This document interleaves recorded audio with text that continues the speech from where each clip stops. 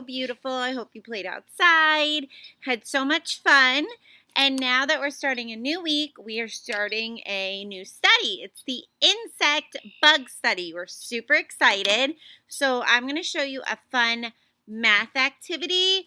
Um, I'm going to show you how I did it and then different ways you could do it at home. So first I drew out my bugs. Let's go through what I did. I did a ladybug, a caterpillar, a butterfly, a beetle, and a bumblebee. So if you would like to at home, you could draw any bugs you want and then cut them out. Remember, if you cut them out, your thumb goes to the sky. So we have one, two, three, four, five. Five fingers, one hand. You can go up if you would like. Again, you could do this activity with Legos, um, crayons, coins, whatever works for you at home. We're just sticking to bugs for the insect study. After that, I drew a log, and I didn't cut it out, and I'm going to show you why. So now I have a blank piece of paper. There's a couple different ways you could do this activity. First, you could just start by going through with numbers. So mom or dad, you can pick a number, like I'm going 1 to 5. So I write the number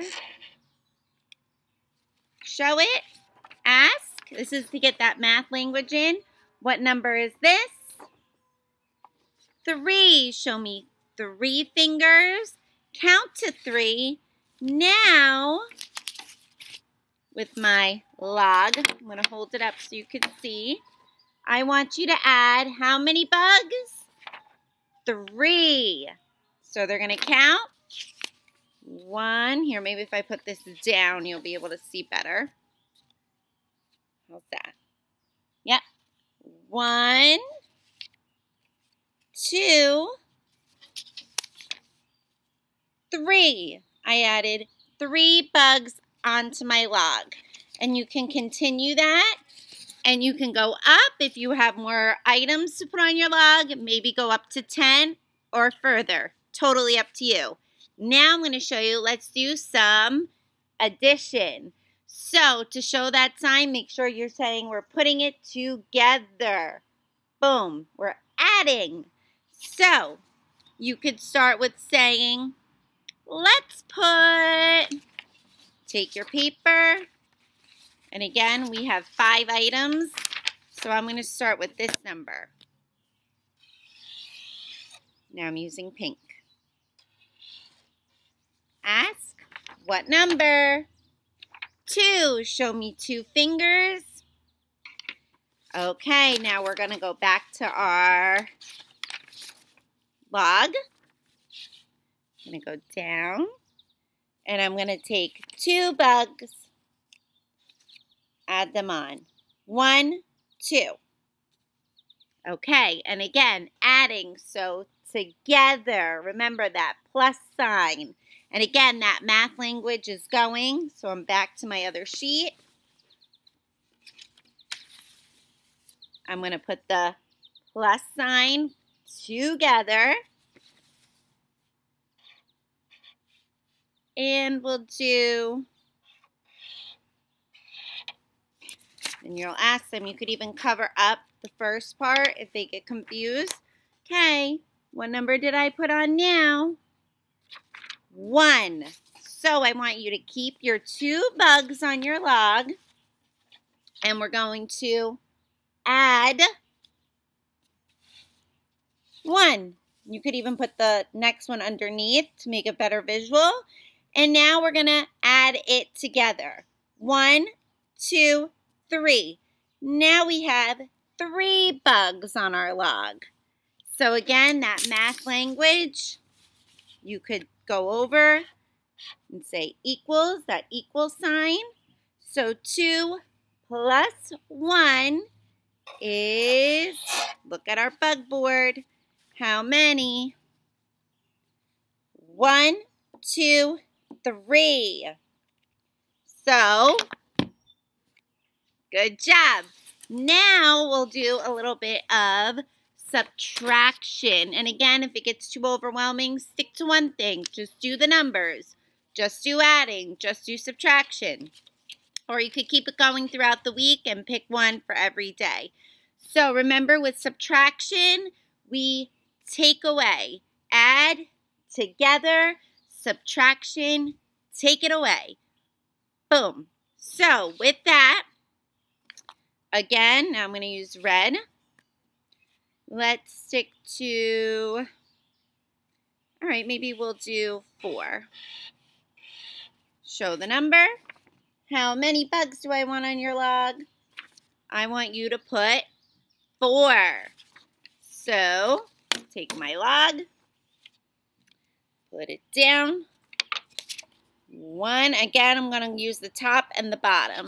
One, two, three, four.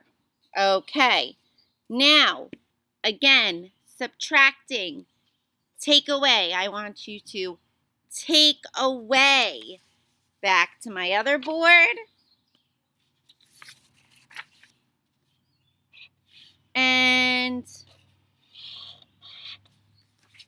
again, you can cover it, maybe so it will help them not get confused. We have the number two. I want you to take away two bugs and see how many are left. Okay. Back down to my board. I have the four. I take away two. How many bugs are left? One, two. Four minus two. Again, just go over it. Just say the language. Equals two. There you go.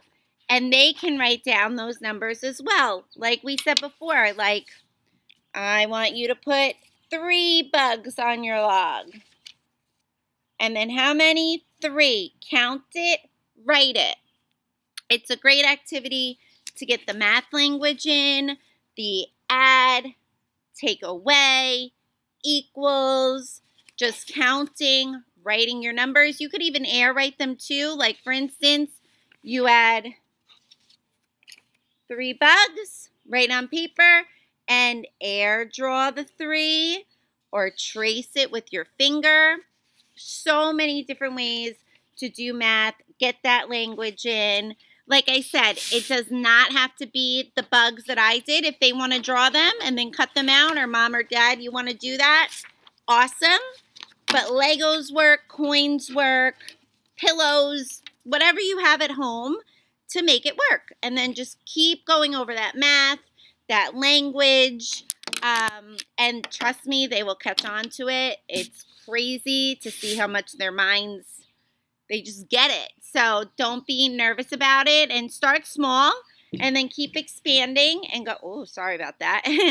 and go higher and higher, maybe up to 10 or above, up to you. I would start with maybe one to five just to see how much, how well they do and then go on from there. And like I said, you could do this throughout the whole week. Maybe one day it's just practicing writing and counting numbers.